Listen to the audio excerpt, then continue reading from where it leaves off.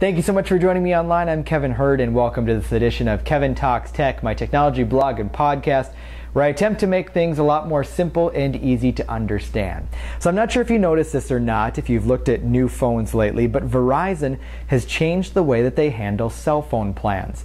The way things used to work is you'd walk into a Verizon store if you're signing up for a new contract. You'd go in, you'd pick out a phone, you'd go up to the desk, you'd buy it, then you'd sign yourself into a two year contract.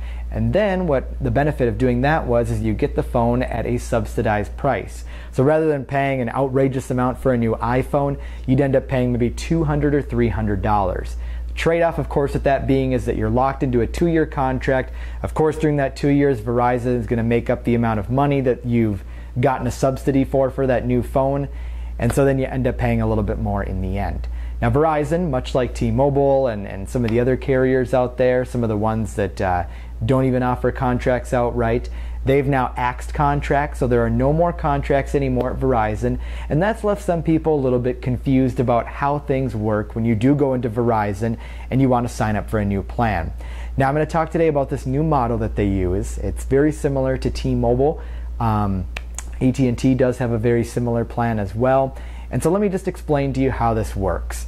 Let's first talk about how this came to be. These days, people are really most concerned about data. You know, before everything was always based on minutes, now we're really talking about data because that's what people use, and that's how Verizon determines the price that you're going to pay for one of their new plans.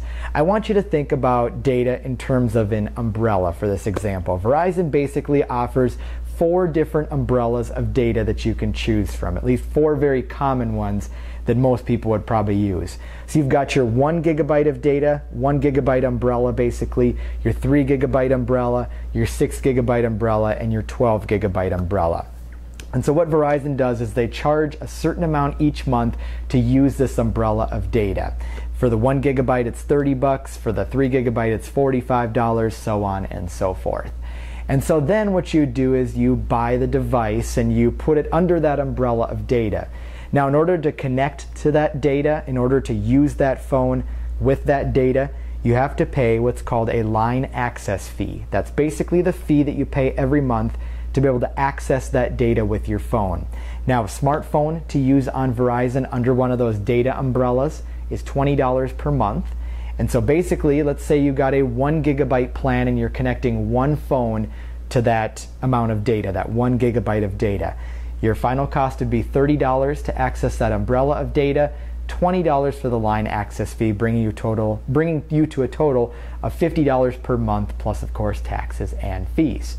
So that's how that works. You can see how this works pretty good for families because for each family member, you just basically add on $20 per smartphone and then you have to buy that data plan that all the family members can access. Now, depending upon how many people you have in your family, this may be a good option. It may not be such a good option because, again, the more phones that you add under that umbrella of data, the more data you're probably going to need. Uh, typically, for a, a one person, um, for one person who uses maybe Snapchat quite a bit, Facebook, uploads some videos to YouTube from their phone, maybe does some occasional video watching, streaming music, three gigabytes is really not a bad option.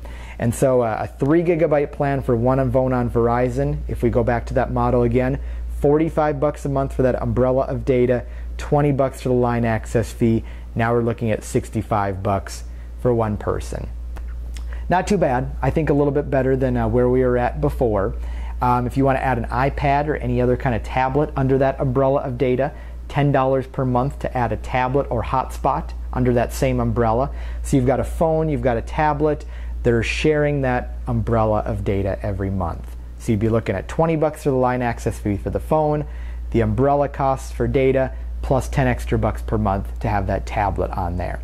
So that's how things work. Now, one thing that's worth mentioning here is, as I, said this before, Verizon does not do contracts anymore.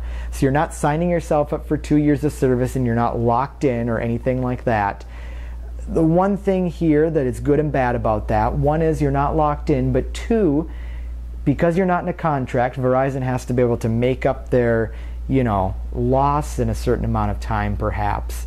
Um, I don't want to say loss, but you know, they want to be able to make some money basically.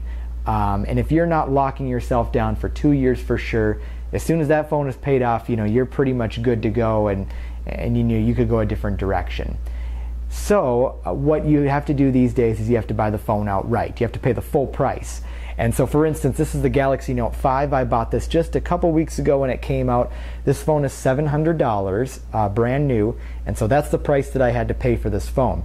Now, before you freak out and you're like, oh my gosh, that's so much money, because it is a ton of money, they do have what's called installment plan and uh, the other carriers uh, offer a similar kind of system too where basically you pay the full price of the phone and spread it out um, across 12 months 18 months 24 months 30 months.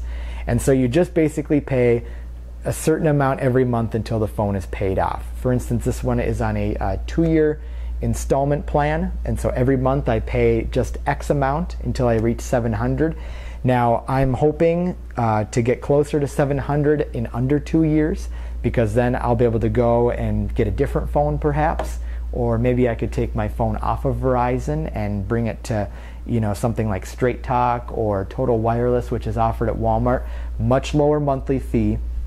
So I guess the best way to think about this is you're not really under contract technically with this new Verizon plan. But you are kind of on the hook because you do owe Verizon for the full cost of the phone. Until you pay the phone off, you're pretty much on the hook with Verizon. So, as I said before, if you're planning to stay on Verizon, you're not going to jump over to a different, you know, lower cost carrier to operate your phone on, then you're probably fine spreading the payment out over two, two and a half years. But if it's something that you eventually do want to get off of or you want to upgrade to a new phone on Verizon, it might behoove you to pay the phone off a little bit faster. There are pros and cons to this. It's a lot to understand, a lot to take in. And so if you have any questions, feel free to go to my YouTube page, youtube.com backslash Kevin Talks Tech. I'd be happy to answer your questions under this video. And of course, if you'd like to see the write-up on this, kind of see everything in text, all written up, all you have to do is go to kevintalkstech.com and I've got the information for you right there. Thank you so much again for joining me. Have a fantastic rest of the day. We'll dive into some other cell phone questions, other cell phone plans on other carriers here in the near future for you as well.